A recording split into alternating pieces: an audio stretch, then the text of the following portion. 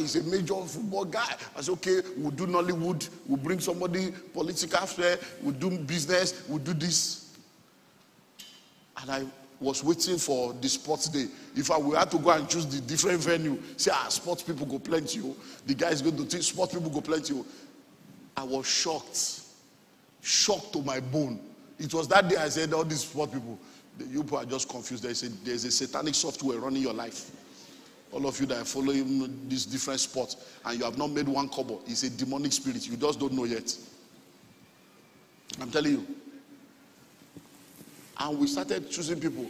If you are for politics and governance, go to this place. If you are, if you are for sports, everywhere is empty. Ah, where are sports people?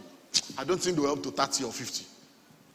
I was shocked to my bone. I said, ah, with all the way they see people love sports, you people are not ready to learn how to make the money from the sport.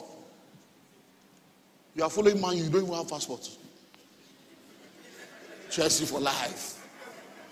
Gunners, whatever they call it, all kinds.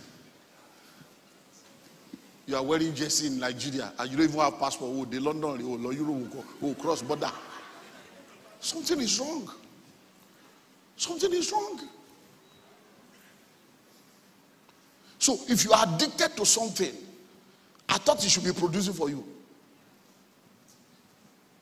Wrong addictions, all kinds of evil going on.